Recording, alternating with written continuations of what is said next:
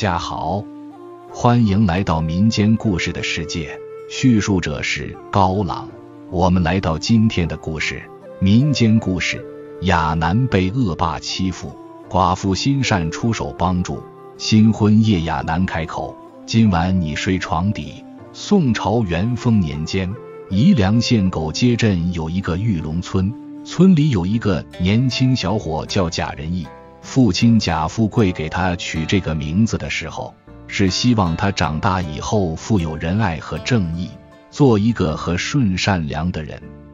《礼记·许礼》上曾说：“道德仁义，非礼不成。”贾仁义看到别人有难，总是会伸手帮一把，因为憨厚老实，经常被村里的无赖欺负。贾家在玉龙村是大户人家。贾富贵年轻时勤劳能干，因机缘巧合下救了一个贵人，后来做起茶叶生意，积累了不少家财。贾富贵老来得子，他担心儿子长大后骄奢淫逸，败坏家风，因此从小就严加管教，告诫他遇事多忍让，见人礼先行。贾人义长大后醇厚善良。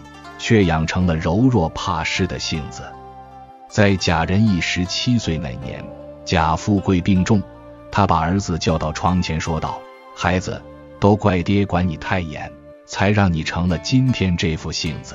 等爹走了，我怕你被欺负。”贾仁义跪在床边大哭道：“爹，不怪你，是我太没用，让爹失望了。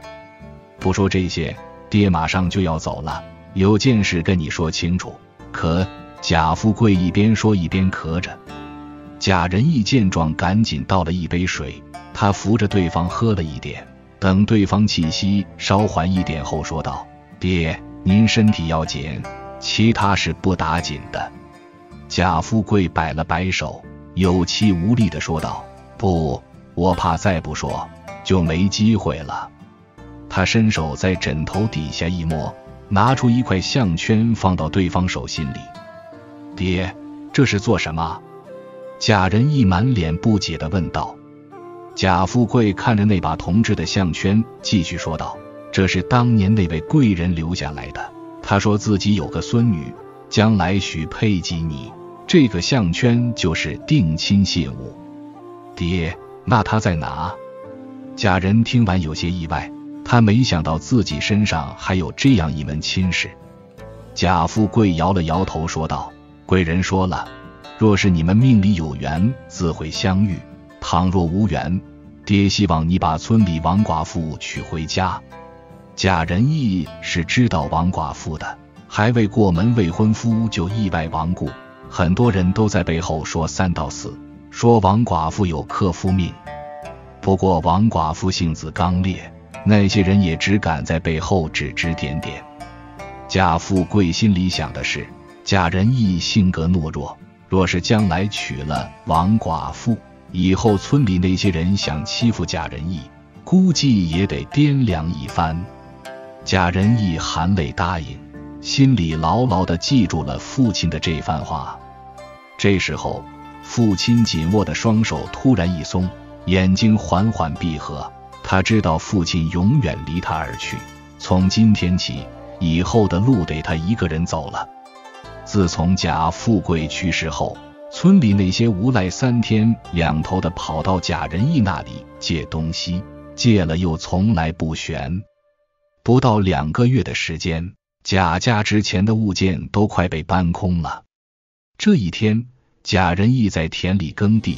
村里的李二宝和马皮不怀好意的来到他面前。李二宝从他手里牵过牛绳，说道：“贾仁义，这头黄牛借给我了，好久没吃肉，最近馋得很。”贾仁义听对方这样说，自然不肯。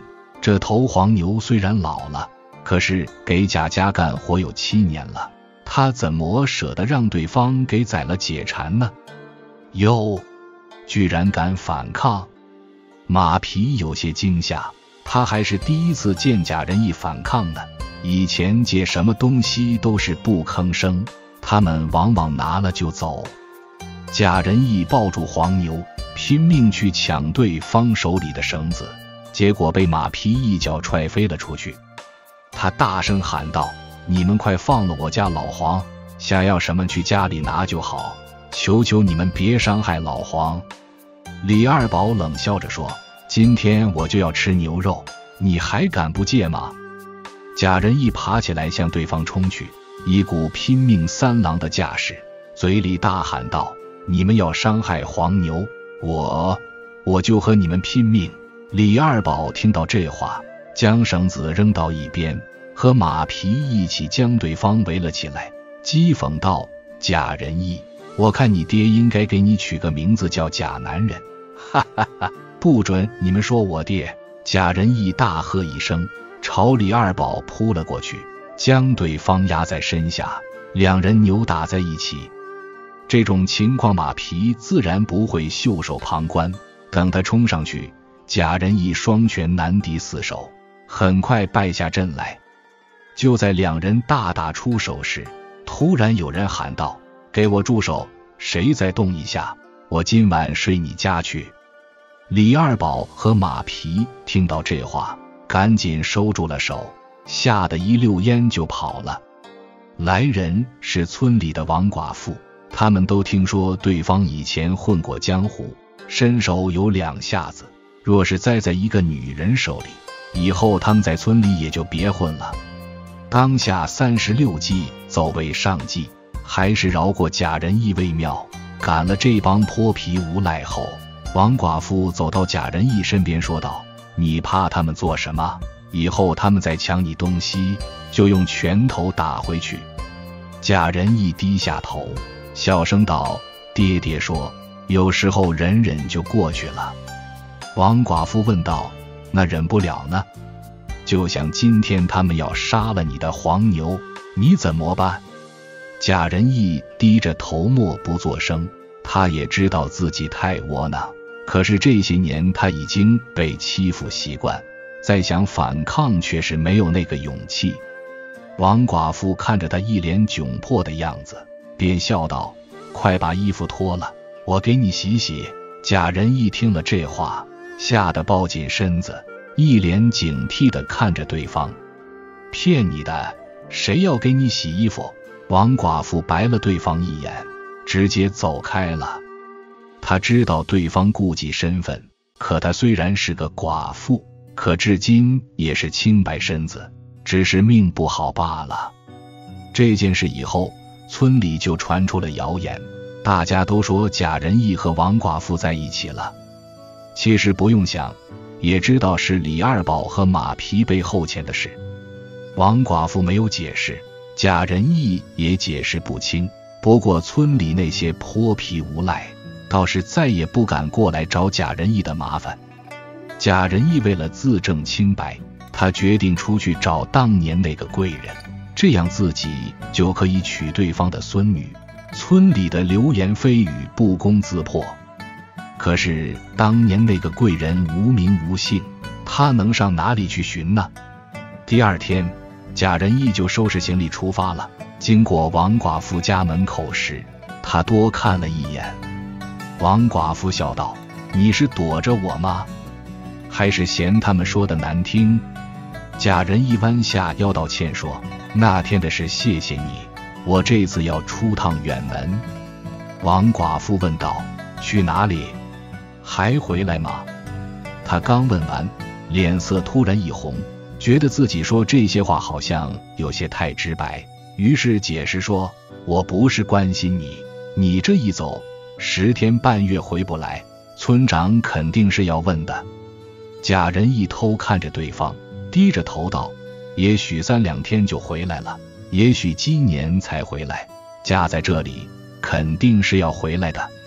王寡妇忍不住好奇，问道：“你出去做什么？”贾仁义说：“我定过亲了，这次出门是去找他的。”哦，那你路上小心些。王寡妇说完，转身跑开了。谁也没有注意到，他转身的一刻，眼角流出了两行泪。贾仁义看着对方的背影发呆了一阵子，他提了提行李包袱，继续出发了。一转眼过去三个月，贾仁义也不知道走了多少路。他抬头看了一眼前面的城头，上面写着万华镇。贾仁义忍不住嘀咕道：“贵人到底在哪呢？”都过去三个月了，再找最后三天，找不到，大概就是对方的说的命里无缘。其实贾仁义心里还是有些期待和忐忑的。万一找不着这个和自己定过亲的女孩，自己回去真的要娶了王寡妇吗？贾仁义正要往城里走，却看到一个女孩跪在城墙根那里，在他面前躺着一个胡子花白的老者，一动不动。他再一瞧，女孩旁边还立着一个牌子，上面写着“只求三两，卖身葬父”。贾仁义见着对方可怜。从身上拿出三两银子，放在对方面前，说道：“这是三两银子，你拿着吧，别让老人家尸骨暴晒了。”女孩磕着头，千恩万谢，一边将老者的身子拉上板车，一边说道：“公子，待我将父亲葬下，三日后在这里等我，奴家就是你的人了。”贾仁义笑着摆手道：“不必了，举手之劳而已。”出门在外，能帮他人的自然要帮。说完，帮着对方将老者抬上板车。贾仁义目送着女孩和老者离开。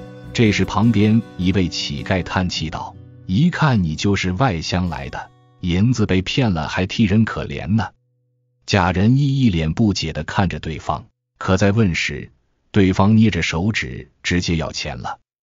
他觉得对方也不容易。于是又从身上拿了一两银子给对方递过去，等乞丐将银子拿在手里，然后解释道：“刚刚那对妇女是骗子，老头莫死呢。三日后他们也不会来这里，大概又去西城门了。”贾人一听到这里，一脸愕然，没想到城里套路太深呐，还没进门就损失四两银子，万一进去再被骗。他想回村里都难了。乞丐叹了一口气道：“要说那对妇女以前也是大户人家出身，可是自从老太爷死了以后，家里那些钱财都被儿子败光了，现在又逼着自己女儿来江湖行骗，真是十年河东，十年河西呀。”贾仁义觉得眼前这乞丐似乎有些不简单，于是好奇问道。你又如何得知这些？乞丐抬起头，将头发捋到一边，说道：“我当然知道，我以前可是皇府的管家，黄老太爷最信任的人。”黄福？贾仁义有些好奇，他还是第一回听到这种城里八卦。只是那乞丐话说到一半，又捏着手指开始要钱。此时。对方的话已经勾引起他的好奇心，贾仁义又忍不住从身上掏出一两银子给对方递去。走，咱们去醉花楼边吃酒边聊。乞丐拉起贾仁义的胳膊，就往城里最热闹的醉花楼走去。他算是看明白了，眼前这个外乡来的就是一个有钱的傻二愣，不坑他坑谁？到了醉花楼，乞丐发声吆喝着。把你们这里最好酒菜都上来，爷今天不醉不归。这贾仁义听了这话，有些退缩，他摸了摸自己口袋里花的已经差不多的银子，你还想不想听了？乞丐故意激将道：“想，当然想。”贾仁义也不知道自己是怎么回事，竟然对这件事情有独钟起来。等酒菜上来后。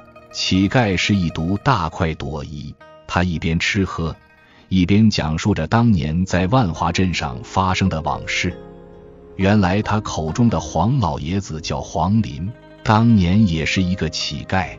有一次露宿街头，快要冻死的时候，恰好碰上一个外乡人进城，对方见他可怜，不仅请他吃了热腾腾的包子，临走之前还给他留了三两银子。黄林就是靠着这三两银子发了家，只不过生了一个不争气的儿子，叫黄石。这个黄石从小不学无术，就知道在外面花天酒地。后来他结识了镇上节度使，竟然要把自己的女儿嫁给对方。要知道，当时他的女儿不过年方十六，而那个节度使的年龄比黄老爷子也差不了几岁。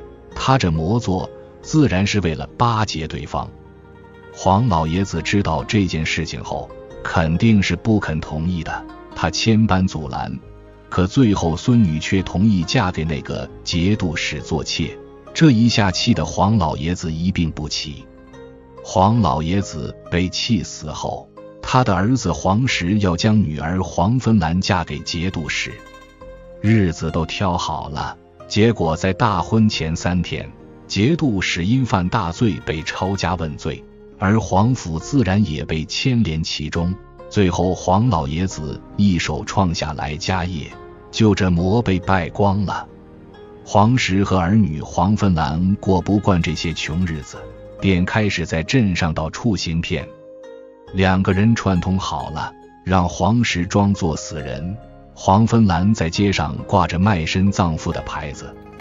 起初这一套行骗的手段骗了不少人，可是时间长了，城中的人都知道他们这伎俩，也就没人再愿意相信了。于是两人便来到城门外的墙根上，因为这里过往的外乡人多，一天下来总会有好心人上当。如果这些外乡人信了，他们骗到银子就会换个地方。这万华镇一共四座大门，三天一轮算下来，一圈下来的花十二天。又有哪个外乡人肯在这里留上十多天呢？贾仁义见这对父女气死黄老爷子不算，现在还敢明目张胆的行骗，气得问道：“他们如此胆大妄为！”那些当官的就不管吗？管？怎么管？乞丐看傻子一样看着贾仁义，他啃着手里的鸡腿说道：“刚刚的银子是不是你心甘情愿给的？”贾仁义仔细一想，点了点头说道：“没错，是我愿意给的。”乞丐又问道：“那是不是你亲口说不要对方卖身？”贾仁又回想起来。他却实这魔说过，可是他忍不住问道：“万一有人真的花三两银子买下那姑娘呢？”乞丐白了一眼道：“一座城这么大，想带走那姑娘，也得先找着她才行。”贾仁一听到这里，总算明白是怎么一回事儿。他端起桌上的酒盅，喝了一口闷酒，心想：若是再碰到他们，肯定要报官的。乞丐酒足饭饱以后，拍了拍肚子就要离开。贾仁义忍不住问道：“你为什么不和他们一起？”乞丐往酒楼外走去，到了门口回了一句道：“仰天大笑出门去，我背起是蓬蒿人。”贾仁一听到这句话，心里油然升起一股崇敬之情。看来这个乞丐果然不简单。不愧是当年黄老爷子最信任之人，可是等到他结账时，却是发现这顿饭吃了他五两银子。之前对方在说话时又要了他三两银子，这样一算，他在乞丐身上花了有十两银子。结完账以后，贾仁义又出发了。可是他刚出酒楼，就看见一个长得有些熟悉的的女孩。他一回想。对方不是刚刚骗了他三两银子的女孩吗？他正要追上去，那女孩也发现了他，于是，在前面拼命跑起来。跑着跑着，就来到一处死胡同里。他刚意识到不妙，想要转身离开时，背后就有一个男人，男人拿着木棍将他砸晕。不过，他在晕倒前已经看清了那男人的脸庞。正是今天躺在地上装死的那位父亲。等贾仁义再次醒过来时，发现那对父女俩却是睁大眼睛看着自己。他惊慌失色地喊了一声：“你们想做什么？”话音刚落，一个项圈摆在他面前。那男人质问着他：“快说，这个你是从哪里的来的？”贾仁义知道男人就是乞丐口中的黄石。见对方拿着自己的东西，赶紧伸手去抢，结果被对方躲开了。他急得大喊道：“这是我的，快还给我！你的贾富贵是你什么人？”黄石追问道：“他是我父亲，这就是他留给我的。”贾仁义愤怒的喊了一声：“哈哈哈！真是大水冲了龙王庙，一家人不认识一家人。如果贾富贵是你父亲，说起来你得叫我一声岳父呢。”黄石大笑一声道：“岳父。”贾仁义一脸不解，可是下一秒，他看到之前那女孩将脖子上的项圈摘下来放在手里，竟然和自己的那个极为相似。只不过他的项圈突然雕刻的是龙，而女孩手里的项圈雕刻的图案是凤。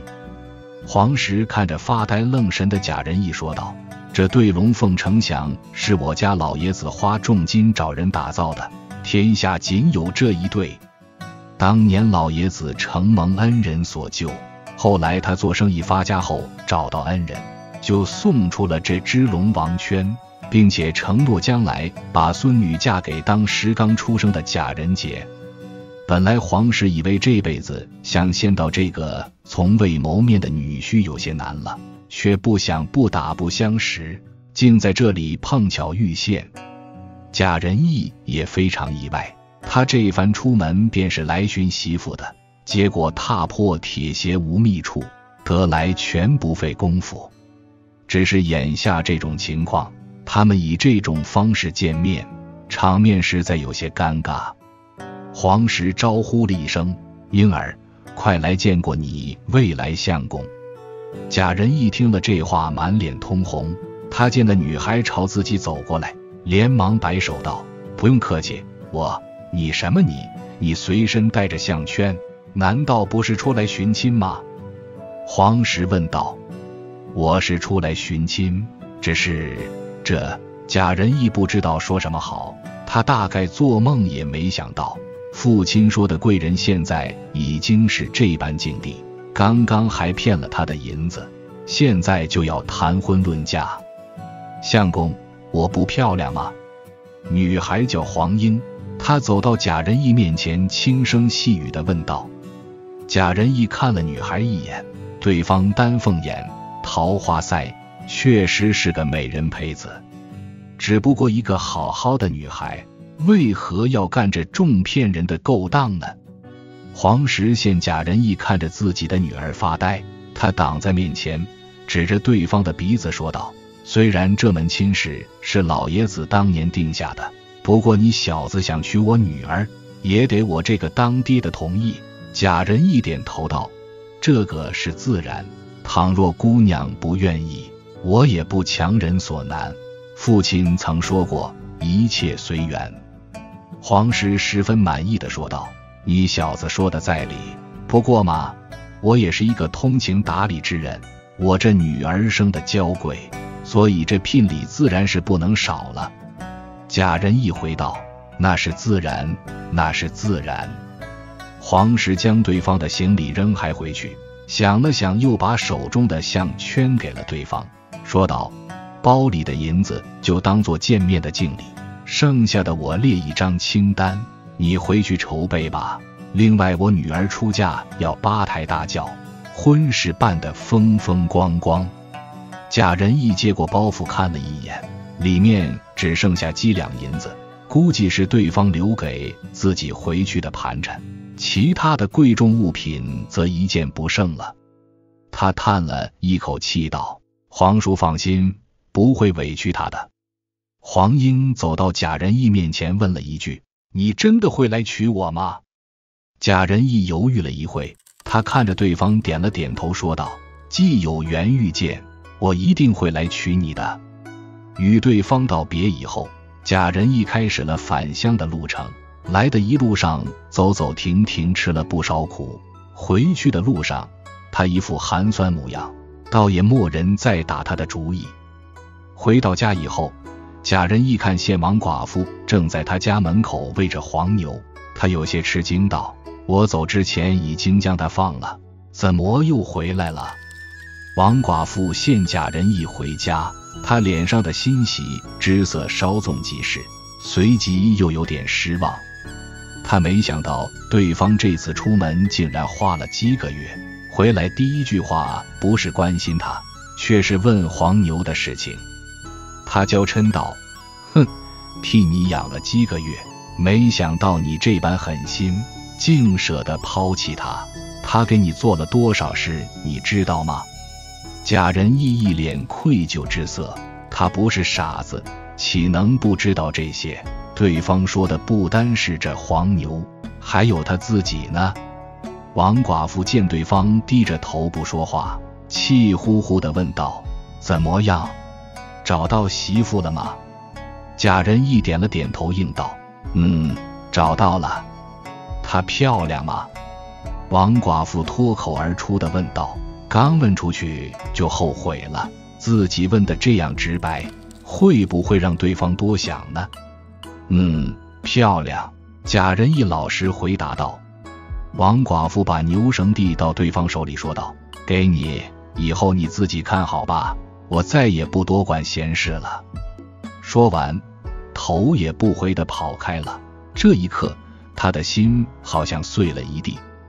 他以为自己这些年的默默付出会换来对方的一点感动，可终究是他一厢情愿罢了。贾仁义呆呆地看着，心里百味杂陈。他心里问自己：难道自己做错了吗？父亲临终前说过，自己有一门亲事，若是有缘自会相见。现在他见到了，这不就是自己和那女孩有缘分吗？可王寡妇对自己的一片心意，他又如何给对方一个交代呢？贾仁义是个孝子，既然父亲给他做了选择，他肯定是要听的。于是他回家以后就开始张罗那些聘礼。看着那张清单，他苦笑了一声。对方这是要他一大半家产啊！如今家里贵重物品快被村里那些无赖搬空了。要想娶媳妇，恐怕只得变卖田地。这些天，贾仁义找到村里的李正，让对方帮忙找一些东家接手他家的田地。王寡妇听了这件事以后，跑来找他，指着他的鼻子怒斥道：“不就娶个媳妇吗？怎么连家都卖了？”贾仁义不敢看对方的眼睛，他小声说道：“这是我自己的事。”不用你管，谁稀罕管？以后你饿死街头，我也不管。王寡妇又一次哭着跑开了。李正在一旁看了，叹气道：“孩子，这丫头苦命，她待你不差。我知道。”可是贾仁义想解释什么，说到一半就被打断了。李正摇了摇头道：“你的事情你自己做主，老头子，我也不想听了。”你这田地，我会帮你卖个好价钱。聘礼筹备了半个月，经过几番折腾，总算东拼西凑差不多了。这天，他雇了八抬大轿，骑着高头大马，就去万华镇迎娶新娘。走的时候，王寡妇跑到玉龙山上，远远地看着迎亲队伍，她默默地流泪道：“你就是一个傻子。”可是我为什么会喜欢上你？贾仁义坐在高头大马上，看上去一脸神气，不过他眼里却是有些淡淡忧伤。旁边的迎亲队伍一路敲锣打鼓，引得路人纷纷驻足观看。正在这时，一头黄牛突然冲了出来，他拦在迎亲队伍面前，撞倒了几个试图拦住他的壮汉之后，来到贾仁义面前。口吐人言道：“你这个臭小子，没良心！谁真对你好，你心里不清楚吗？”贾仁义看着对面的黄牛，一脸吃惊的说道：“老黄，你怎么来了？你会说话？哼，傻小子，我的声音你听不出来吗？”黄牛冷哼一声，有些恨铁不成钢的骂道：“贾仁义觉得声音有些熟悉，猛然一惊。”从马上跨下来说道：“爹，真的是你！”黄牛哼着鼻子，气呼呼地说道：“孩子，你这是愚孝啊！爹跟你说的那番话，不是让你非娶那女孩不可，那只是爹的一桩心愿。你见过那女孩了？她喜欢的不是你这个人，而是你带去的聘礼。爹，难道我错了吗？贾仁义跪在黄牛面前，失声痛哭道：“自打出生以来，他什么事都听父亲的安排，可是却没有做过一件事让对方真正满意。”看见儿子哭得伤心，黄牛也流下泪道：“爹也有错。”爹以前不该是模式都否定你，你有今天是爹害了你。爹，我现在该怎么办？贾仁义一见茫然的看着对面的黄牛，此刻他也拿不定主意，是继续迎亲，还是立刻回头呢？黄牛走过去，用牛角顶了顶对方胸口，叹了一口气，说道：“孩子，这一次该你自己做选择了。”爹爹，贾仁义突然觉得胸口一阵疼痛，醒过来却发现什么也消失了。他看了看周围的环境，原来自己还在家里，刚刚只是做了一场梦而已。仁义，该出发了！李正在门外喊道。贾仁义穿好衣服，走出去一看，迎亲的队伍已经准备好在等自己了。他长吁了一口气。原来刚刚真的只是一场梦，自己还没出发呢。这时，一个男子牵了一匹白马走过来说道：“仁义，今天是你大喜的日子，特意给你找了一匹好马呢。”贾仁义跨上白马，像风一样驰骋而去。这一幕发生太突然，李正在后面大声追问道：“你这孩子，怎么一个人先走了？这迎亲还来得及吗？”贾仁义听到后面的喊声，回头笑道：“李叔，你跟大伙说一声，这亲不去了。”有人走到李正身边问道：“李叔，贾仁义这是闹哪样呢？摆明着耍大火吗？”李正看着一人一马消失的背影，笑道：“他这是找到自己的真爱了。走，我请大家伙喝酒去。”贾仁义骑着白马在玉龙山上飞奔。突然，在一条小河边停了下来，他痴痴地望着那道熟悉的背影，满脸幸福地笑着。王寡妇正在河边洗衣服，听到马儿的嘶鸣声，她回头一看，满脸吃惊地问道：“你怎么来了？今天不是你大喜的日子吗？”贾仁义从马上走下来，他来到河边，一把握住王寡妇的手，深情款款地说道：“是的。”今天是我大喜的日子，不过我要娶的人是你。王寡妇想要挣脱开，她不敢相信的说：“你别开玩笑了，我有克夫命，谁见到我都躲着哩。”贾仁义说道：“所有人都躲你，我不会躲你。别人说什么我也不在乎，我只在乎你。”王寡妇怔怔的看着对方，有些不确信的问道：“你说的都是真的吗？”贾仁一把抱起对方，然后将对方放到马背上，紧接着自己也骑上白马，说了一声道：“走，我们现在就去结婚。”写在最后，终有余忠，孝有余孝，可知忠孝二字不是连立人做得来。人有假仁，亦有假义，可知仁义两途，不无奸恶人藏其内。的意思是。有一种忠心被人视为愚行，就是愚忠；也有一种孝行被人视为愚行，那是愚孝。由此可知，忠和孝两个字，太过聪明的人是做不来的。同样的，仁和义的行为中，也有虚伪的假仁和假义。由此可以知道，在一般人所说的仁义之士中。不见得没有奸险狡诈的人，在这个故事里，贾仁义的名字虽然让人觉得可笑，但他却是一个和顺善良的人，不仅孝顺，而且对待乡邻总是谦让，遇到穷苦人也乐于伸出援手。不过他的愚孝也导致了他懦弱胆小的性格，在很多事情面前不敢做出选择。好在最后一刻，他如梦方醒，终于明白父亲是希望他成为一个敢做敢当、有始有终的男子汉。于是他认清自己的本心，找到了真正属于自己的幸福。在现实生活中，我们也会经常遇到故事中的困境。当别人欺负自己，受了委屈后，是该反击还是忍耐呢？我觉得比反击更好的办法是找到矛盾发生的根源，而不是让矛盾继续激化。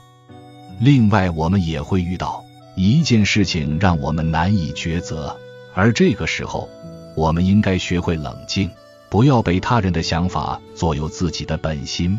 只有自己的选择，才对得起自己的付出。最后，希望这个故事可以让我们记住这样一句话。当我们爱一个人而对方不爱你时，确实让人难受。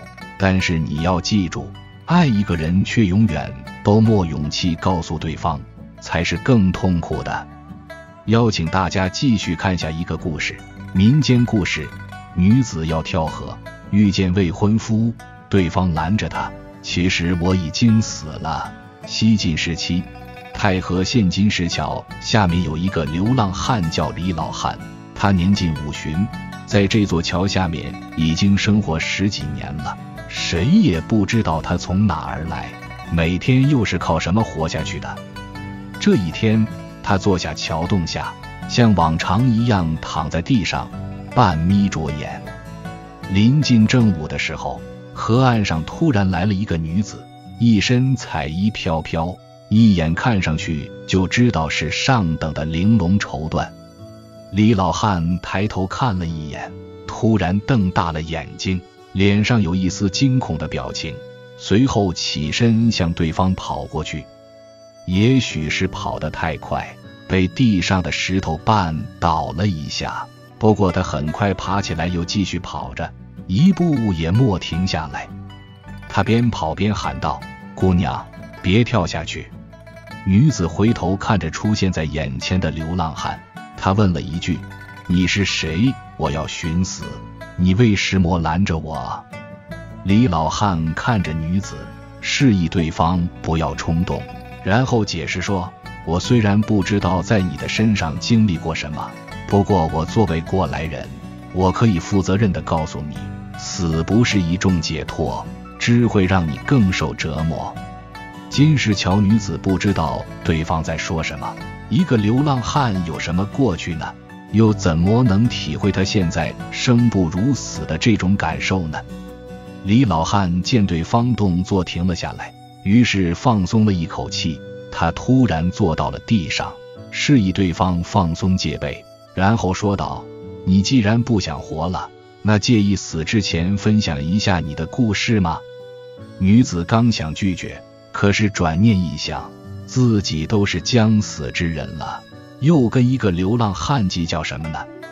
于是他顺势也坐了下来，对着流浪汉说道：“我可以告诉你，不过你得答应我一件事。”李老汉犹豫了一下，他面色有些为难，然后对女子说道：“姑娘，我不能答应你，不过我也可以给你讲一下我的故事。”女子想了下，还是同意了。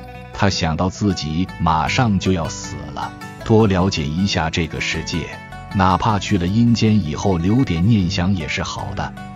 原来女子是县城里米商包袱的千金。去年中秋的时候，她和身边的丫鬟小玲偷偷跑去平阳湖游船。那天街市上张灯结彩，小贩们大声吆喝着，好不热闹。两人四处游逛。对那些新鲜玩意都充满了好奇。包小姐在一个卖首饰的摊前驻足了好久，等回过神来的时候，发现身后的丫鬟小玲不见人影了，想来应该是被人群冲散了。包小姐看了一眼拿在手里的簪子，这个她很喜欢，可是自己身上没有银子，只好要将它放回去。这时候，一个男子的声音从旁边传来。这簪子多少钱？给我包起来吧。包小姐见自己心爱的东西要被别人买去，赶紧一把又抢到手里，然后骄横地说：“这是我先看上的，你不能买。”刚刚说话的男子是一个风度翩翩的公子哥，一袭白衣，一柄折扇，气质洒脱不羁。他看着女子笑道：“姑娘误会了，在下买来也是要送给你的。”包小姐刚刚只顾护着自己的簪子，还没来得及抬头看一眼对方，这一抬头，她竟看得痴了。原来这世间还有这般美男子。他呆杵了好久，才回过神来，然后不解的看着对方问道：“我们不认识，你为什么要送给我？”男子谦恭的说道：“在下姓潘，单名一个安字。方才见小姐盯着这个簪子看了很久，想必是喜欢。另外，小姐身上穿的衣服都是上等的玲珑绸缎，我料定是身上莫带够银子。”包小姐像小鸡啄米似的点了点头。这一刻，她眼里已经没有簪子了，全是对面这个风姿秀美、容貌出众的潘公子。小姐，小姐！丫鬟小玲拍着自家小姐的肩膀，她一脸诧异：自家小姐这是怎么了？为何对着空气痴望着呢？古代集市包小姐看到身边的小玲，这才回过神。原来刚刚那个潘公子早已经没人影了。回到家里以后，他整天茶不思饭不想的坐在屋里，盯着一根簪子发呆，脸上的愁容满面，嘴里念叨着：“去年何时君别妾，杨虎章登飞蝴蝶，今岁何时妾一君？西山白雪暗秦云。”门外的包老爷听了女儿吟的这首诗，仔细一品味。赶紧跑去跟老婆说：“夫人，我找到咱家女儿的病症了。”王夫人白了一眼，她这段时间为这件事可愁了。可是每天去庙里祈福还是不管用，眼见着女儿日渐消瘦，病情越来越严重。现在听到自家老爷说找到女儿的病症了，他赶紧问道：“快别卖关子了，赶紧说吧，有病咱们赶紧给她治。”别让他再吃苦了。包老爷说：“咱家女儿今年芳龄二八，该是给她许配一个人家了。”包夫人是过来人，于是道：“老爷是说咱闺女思春了？”包老爷哼了一声：“我亲耳听的，还能有假？”于是把刚刚从女儿口中听到的那几句诗解释给夫人听了。在包夫人的张罗下。很快，县里的茶商李家就来提亲了。李家和包家门当户对，两家对这门亲事甚是满意。那时候都是父母之命、媒妁之言，所以这件事很快就在家里长辈的商议下敲定了。到了结婚这一天，包小姐对着身边的小玲说道：“玲儿，我平时待你如何？”小玲一听这话，眼泪吧嗒吧嗒的往下掉。激动的说道：“小姐待灵儿如同亲姐妹，灵儿这辈子无以回报。”包小姐说：“那你帮我做一件事可好？”小玲眼神坚定地看着自家小姐，然后说：“只要是灵儿能帮小姐做的，别说是一件了，十件、百件我也答应。”包小姐听了这些话，也有些感动，于是道：“你也到了该嫁人的年纪了。”不如这次你替我嫁到李家如何？古代女子出嫁，小玲一听，有些大惊失色，眼里甚至有些慌乱。她咬着嘴唇，内心显然很是犹豫和纠结。包小姐见这般情况，脸色一沉，很是失望地说：“枉我一直当你做亲姐妹，以为咱们姐妹情深，这点事情你不会拒绝。可是……”小玲全身一松，突然说道：“小姐不用说了，灵儿答应你就是。”大婚当天，小玲冒充包小姐嫁到了李家。等嫁过去以后，她才发现自己嫁的根本不是李公子，而是对方身边的书状潘安。原来中秋游湖那一天，小玲与包小姐走散，而另一边李公子也与自己身边的书状走丢了。就这样，两对走失的却在不同的地点不期而遇。李公子看到小玲的那一刻，便一见倾心。他平日里见惯了大家闺秀，初见小玲，就被对方身上的重朴实无华给深深吸引住了。可是当时匆匆一别，甚至连方明也莫来得及问。正所谓夜未央，梦未凉，几多相思愁断肠。自那以后，李公子心里便住下了一个人，再也忘不掉了。后来家里给他说了一门亲事，他几番推辞不掉，便只好想出了一个主意，便是让从小陪自己长大的书状潘安冒名顶替自己。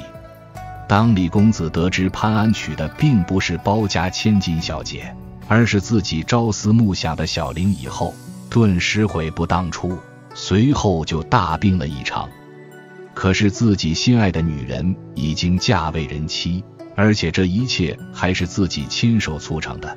想到这里，他便一个人走到金石桥上跳河自尽了。阴差阳错的缘分，两人的故事说完以后，包小姐有些吃惊的看着对方问道：“你就是当年的李公子？”李老汉苦笑了一声：“正是在下，当初为情所困，一时糊涂，却不想又做了一件让自己悔恨终生的事。”包小姐不解，对方现在看上去除了有些落魄，也没有其他令人意外的地方。后来又做了什么后悔的事情呢？李老汉说：“其实我现在已经是个死人了，因为是非命死，阳间事未了，所以阎王不收，需找一个替身才能转世投胎。”包小姐一听，吓得身体直哆嗦，赶紧退后了两步。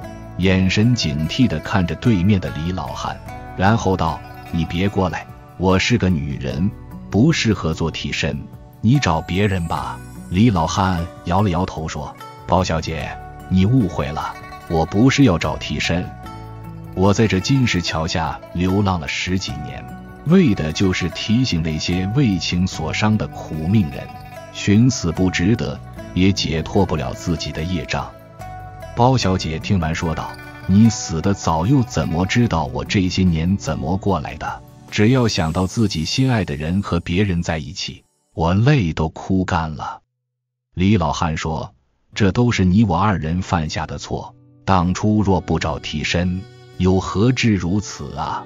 包小姐好奇地问了一句：“那这些年，你都没有找到一个合适的替身，然后去转世投胎吗？”李老汉摇了摇头说：“这都是因果报应啊！我已经想明白了，自己酿造的孽自己去承受就可以了，不能再连累别人了。”包小姐听完这些话，低着头，不知道在想什么。只听李老汉的声音继续在耳边劝道：“莫要再寻死了，不值得。难道你想死后像我一样成为孤魂野鬼吗？”小姐，不要。这时候，小玲的声音突然传来。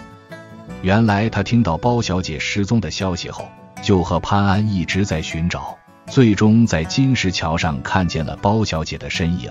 听了刚刚那些话后，她终于明白当初包小姐为什么要让她做替身了。虽然这些年小玲一直记恨对方，但是现在看来，对方也是一个可怜的女人。自己亲手断送了自己的幸福。潘安看到李老汉，终于见到了自家少爷，激动地说道：“少爷，你为何如此犯傻？这些年我和灵儿有名无实，一直相敬如宾，你不该寻短见呀。”李老汉看着这个从小陪自己长大的书状，然后郑重地说道：“你们二人此生能结为夫妇。”这是上世修来的缘分，所以才有了那些阴差阳错，命中注定你们要在一起的。好好珍惜以后的生活吧。包小姐忽然顿悟，她看着丫鬟小玲说道：“灵儿，对不起，我现在终于明白了，我和潘公子只是情深匆匆一眼，奈何缘浅不能共度此生。希望你以后能够幸福。”说完，又转向了那个自己日思夜想、半生牵挂的男人，深情凝望的说道：“与你相遇很幸运，但我已失去为你流泪的权利。但愿在我看不到的未来里，你张开了双翼，她一定会成为一个幸福的女人。”就在几个人失神的刹那，包小姐纵身一跃，从金石桥上跳了下去。飘在半空的她。第一次露出了难得的笑容。黑白无常，这时一对黑白影闪过，他们正是阴间的差役，此次奉命来阳间勾魂。他们看到旁边的李老汉，说道：“判官大人说了，你阳间业障已除，快去投胎吧。”李老汉不解：“不是说非命死不能投胎吗？”黑影差役道：“谁说的？”简直胡说八道！地府里可没这规定。倘若你真找了替身，罪过就大了，肯定要下十八层地狱，永世不得超生。李老汉听到这句话，吓得全身冷汗直冒，不过心里很是庆幸，因为自己的选择终于对了，果然是善有善报，恶有恶报。潘安和小林看到自家少爷和小姐还有转世投胎的机会，高兴的相视一笑，却发现不知何时，对方的眼睛里竟然装的都是自己。深情凝望，写在最后，日久便生情，久别爱难续。意思是，如果两个人天长日久的待在一起的话，便会生出感情来，而两个人一见钟情。如果离别的太久，爱情也是很难续接的。包小姐和李公子都是因为自私，所以才找了替身，却没想到因此亲手断送了自己的幸福。这种为了自己幸福而伤害他人的做法，终究是不可取的。好在他们最后终于明白了这个道理，没有在这条路上越陷越深，否则真的是万劫难复了。我们的生活中都不缺少像潘安和灵儿这样阴差阳错的爱情。当初在一起时，或许有些将就凑合，可是一个屋檐下住的久了，肯定会生出感情，而且会有一种同甘苦的默契。不言说，也知道自己已经离不开对方了。故事到此结束，谢谢您看我的故事，您在下方留言。